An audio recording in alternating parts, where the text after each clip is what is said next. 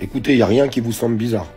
J'ai été appelé par euh, plusieurs petits agriculteurs, mais des tout petits agriculteurs, hein. pas des gens qui ont des très grosses fermes. Puis ils m'ont mis sur la piste de certaines choses. On va en parler ensemble. Je vous répète, dans cette vidéo, je soutiens tous les agriculteurs et je veux qu'il y ait de l'avancement pour eux, mais aussi pour les autres. Et on va parler du patron de la FNSEA. Alors déjà pour commencer, Arnaud Rousseau, le patron de la FNSEA, était très vexé puisque Attal a négocié avec Jérôme, qui ne fait pas partie de la, de FNSEA. Mais normal, puisque au cours d'une manifestation il y a une semaine et demie, la FNSEA avait dit on rentre à la maison. Jérôme a dit non, on va bloquer les autoroutes. Et là, vous avez Arnaud Rousseau, patron de la FNSEA, qui reprend le flambeau, qui déteste Macron, hein, mais bien sûr, et euh, qui explique qu'on va bloquer la capitale. Au début, on entendait on va rentrer dans la capitale. Et maintenant, ils disent on va non, non, on rentre pas dans la capitale, on reste aux abords. Mais la capitale, elle n'est pas bloquée. Ils ont bloqué des, des endroits euh, stratégiques à des autoroutes. D'ailleurs, euh, qui positionne les tracteurs, vous avez vu les vidéos, c'est les gendarmes. Mais en fait, il n'y a rien de bloqué. Il y a une bretelle de sortie, tu passes le barrage et hop, tu redescends. Alors oui, ça cause des bouchons, je suis d'accord avec vous. Mais il n'y a absolument rien de bloqué. Rungis n'est absolument pas bloqué.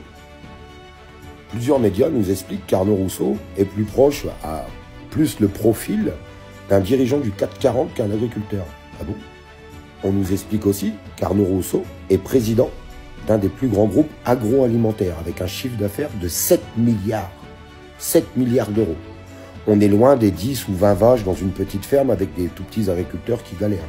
C'est de comprendre. Est-ce qu'il est plus proche des tout petits agriculteurs ou il est plus proche de Macron, 440, grande industrie Alors je vous le répète, j'espère que les agriculteurs, tous les agriculteurs, obtiendront gain de cause. Quand je dis tous les agriculteurs, c'est pas que les gens qui ont 700 hectares ou 500 hectares. Je vous parle des petits agriculteurs qui crèvent la dalle, où on leur paye de la viande à 4 euros le kilo et qu'on retrouve à 30 euros dans nos supermarchés. Parce que ça, c'est pareil, c'est les petits agriculteurs qui me le disent. Moi, l'impression que ça me donne tout ça, c'est qu'Arnaud Rousseau, il sait déjà les négociations qu'il va avoir avec le gouvernement et qu'on a lieu à un gros coup de com qui va donner des points au gouvernement et qui va donner des points à la FNSEA pour pouvoir encore récolter des adhérents. Désolé de dire la vérité, je sais que ça va embêter certains, c'est une certitude. Mais quand j'ai des toutes petites fermes, des tout petits agriculteurs qui m'appellent et qui me disent on est en train de se faire enfler encore, bah j'ai pas envie de tout ça. Voilà, au moins tout le monde est au courant de qui est Arnaud Rousseau. Et encore, je vous ai dit 4%. Allez voir son Twitter, allez voir un petit peu ce qu'il fait au quotidien. Faites vos recherches. Je préfère faire confiance à un tout petit agriculteur qu'à Arnaud Rousseau, le président de la FNSEA. Je vous le dis. Donc faites attention. Faites attention à tout ce qui se passe et comment ça se passe.